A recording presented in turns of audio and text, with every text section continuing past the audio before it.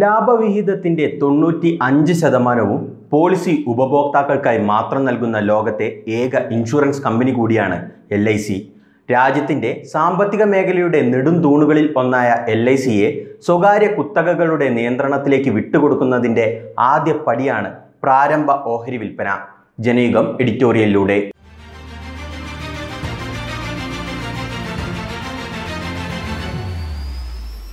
രാജ്യത്തെ ഓഹരി വിപണിയുടെ ചരിത്രത്തിലെ ഏറ്റവും വലിയ പ്രാരംഭ ഓഹരി വിൽപ്പനയ്ക്കായി life insurance corporation of India അഥവാ എൽ ഐ സി തയ്യാറെടുക്കുകയാണ്. ഇതോടെ വിപണി മൂല്യത്തിൽ ഏറ്റവും വലിയ ഇന്ത്യൻ കമ്പനികളുടെ നിരയിലേക്ക് എൽ ഐ സി എത്തും. പതിനഞ്ച് ലക്ഷം കോടി രൂപ വിപണി മൂല്യത്തോടെയാകും പൊതുമേഖലാ സ്ഥാപനമായ എൽ ഐ സി പ്രാരംഭ ഓഹരി വിൽപ്പനയ്ക്കായി എത്തുന്നത് എന്നത് ഈ രംഗത്ത് നിലയുറപ്പിച്ചിരിക്കുന്ന വമ്പൻ സ്രാവുകളുടെ കണ്ണുകൾ മഞ്ഞളിപ്പിച്ചിട്ടുണ്ട്. മികച്ച സാമ്പത്തിക ഭദ്രതയുള്ള സുശക്തമായ അടിത്തറയുള്ള രാജ്യമെമ്പാടും പടർന്നു പന്തലിച്ചിരിക്കുന്ന രാജ്യത്തെ സാധാരണക്കാരൻ പോലും വിശ്വസിച്ച് പണം നിക്ഷേപിച്ചിട്ടുള്ള ഈ പൊതുമേഖലാ സ്ഥാപനം ലാഭക്കൊതിയന്മാരുടെയും ഊഹ കച്ചവടക്കാരുടെയും കൈകളിലേക്ക് എറിഞ്ഞു കൊടുക്കുകയാണ്. കാളക്കൂറ്റന്മാരും ഭീമൻ കരടികളും പുളച്ചുമതിക്കുന്ന ഓഹരി വിപണിയിലേക്ക് എൽ എന്ന പൊതുമേഖലാ സ്ഥാപനത്തെ കൂടി കഴുത്തറുത്തു വിടുകയാണ് മോഡി ഭരണകൂടം. രണ്ടായിരത്തി ഇരുപതിലെ ബജറ്റിൽ എൽ ഐ സി ഓഹരികൾ വിൽക്കുമെന്ന് പ്രഖ്യാപിച്ചതിന് എത്രയോ മുമ്പ് തന്നെ രാജ്യത്തെ ഇടതുപക്ഷ കക്ഷികളും തൊഴിലാളി സംഘടനകളും ഇത് മുൻകൂട്ടി കണ്ട് പ്രതിഷേധവും പ്രക്ഷോഭങ്ങളും ആരംഭിച്ചതാണ്. കോവിഡിനെ തുടർന്നുണ്ടായ സാമ്പത്തിക പ്രതിസന്ധിയിൽ നിന്ന് രാജ്യത്തെ കരകയറ്റാനാണ് എൽ ഐ സി വിൽപ്പനയ്ക്ക് വെച്ചിരിക്കുന്നതെന്ന വാദമാണ് കേന്ദ്രം ഉയർത്തുന്നത്. എന്നാൽ രണ്ടായിരത്തി ഇരുപതിൽ എൽ ഐ സി ഓഹരികൾ വിറ്റൊഴിക്കാനായിരുന്നു കേന്ദ്ര നീക്കം. കോവിഡ് വ്യാപനത്തോടെ നീക്കം തകിടം മറിയുകയായിരുന്നു. പ്രാരംഭഘട്ടത്തിൽ അഞ്ചു മുതൽ പത്തു ശതമാനം വരെ ഓഹരികൾ വിറ്റ് എഴുപത്തി അയ്യായിരം കോടി മുതൽ ഒരു ലക്ഷം കോടി രൂപ വരെ സമാഹരിക്കാനാണ് ലക്ഷ്യമെന്നാണ് ലഭ്യമായ വിവരം. നാലു ലക്ഷം കോടിയിലേറെ രൂപയാണ് എൽ ഐ സിയുടെ മൂല്യം നിശ്ചയിക്കപ്പെട്ടിരിക്കുന്നത്. ഇതിന്റെ അഞ്ചിരട്ടി വരെ വിപണി മൂല്യം കണക്കാക്കിയാണ് പ്രാരംഭ ഓഹരി വിൽപ്പനയ്ക്ക് എത്തുന്നത്. നിലവിൽ റിലയൻസിന്റെയും ടി സി എസിന്റെയും വിപണി മൂല്യത്തിന് അടുത്താണ് എൽ ഐ സിയുടെ മൂല്യമെന്നതാണ് എൽ ഐ സിയെ പൊന്മുട്ടയിടുന്ന താറാവായി വൻ നിക്ഷേപകർ കാണുന്നതിന് കാരണം. കടലാസു കമ്പനികളും വെറുമൊരു ഓഫീസും പരിമിതമായ സംവിധാനങ്ങളുമുള്ള സ്റ്റാർട്ടപ്പ് സംരംഭങ്ങളും ഓഹരി വിപണിയിൽ ഇറങ്ങി ശതകോടികളുടെ കളികൾ നടത്തുമ്പോൾ രാജ്യമൊട്ടാകെ പടർന്നു പന്തലിച്ചിരിക്കുന്ന ആസ്തികളുടെ പിൻബലമാണ് എൽ ഐ സിയെ തിളക്കമുള്ളതാക്കി മാറ്റുന്നത്.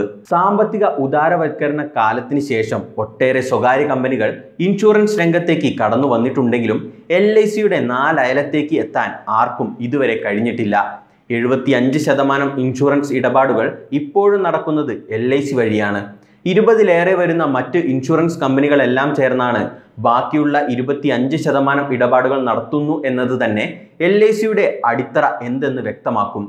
നാൽപ്പത് കോടിയിൽ അധികം വരുന്ന ഇടപാടുകാരുടെ നിക്ഷേപമാണ് എൽ ഐ സിയുടെ നട്ടെല്ല്. യഥാർത്ഥത്തിൽ ഉടമകൾ ഈ നിക്ഷേപകർ തന്നെയാണ്.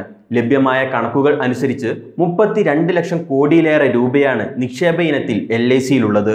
ആകെ നിക്ഷേപത്തിന്റെ എൺപത് ശതമാനവും സർക്കാർ നിർദ്ദേശിക്കുന്ന പദ്ധതിയിലേക്കാണ് പോകുന്നത്. എൽ ഐ സിയിൽ കേന്ദ്ര സർക്കാരിന്റെ മുതൽ മുടക്ക് നൂറ് കോടി രൂപ മാത്രമാണ്. തുടക്കകാലത്ത് അത് അഞ്ചു കോടിയായിരുന്നു. ഐ ആർ ഡി എ നിയമം നിലവിൽ വന്നതോടെ രാജ്യത്ത് പ്രവർത്തിക്കുന്ന ഇൻഷുറൻസ് കമ്പനികൾക്ക് ഏറ്റവും ചുരുങ്ങിയത് നൂറ് കോടി രൂപയുടെ മുതൽ മുടക്ക് ആവശ്യമാണെന്ന് വന്നപ്പോഴാണ് ഇത് ഉയർന്നത്. ഇതിനകം എൽ ഐ സി വഴി ലഭിച്ച നിക്ഷേപത്തിന്റെ മുന്തിയ പങ്കിന്റെയും ലാഭവിഹിതത്തിന്റെയും കണക്കുകൾ എത്രയോ വലുതാണ്.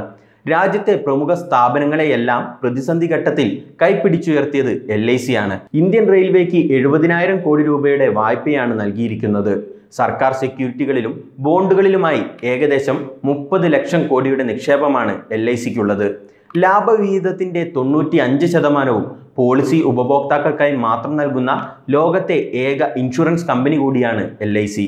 രാജ്യത്തിന്റെ സാമ്പത്തിക മേഖലയുടെ നെടുന്തൂണുകളിൽ ഒന്നായ എൽ ഐ സിയെ സ്വകാര്യ കുത്തകകളുടെ നിയന്ത്രണത്തിലേക്ക് വിട്ടുകൊടുക്കുന്നതിന്റെ ആദ്യ പടിയാണ് പ്രാരംഭ ഓഹരി വിൽപ്പന.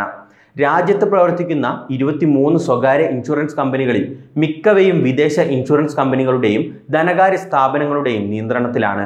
എൽ ഐ സി തകർന്നാൽ മാത്രമേ അവരുടെ വളർച്ച സുഗമമാവൂ. ബി എസ് എൻ എല്ലിനെ തകർത്ത് റിലയൻസ് അടക്കമുള്ള സ്വകാര്യ ടെലികോം കമ്പനികൾക്ക് പരവതാനി വിരിച്ചു നൽകിയ കേന്ദ്ര ഭരണകൂടം ഇൻഷുറൻസ് മേഖലയിൽ കൂടി സ്വകാര്യ കുത്തകകൾക്ക് തീരെഴുതാൻ എൽ ഐ സി ഓഹരി വിൽപ്പനയിലൂടെ നിശ്ചയിച്ചു കഴിഞ്ഞു. ജനയുഗം എഡിറ്റോറിയലുമായി വീണ്ടും കാണും വരെ. നമസ്കാരം.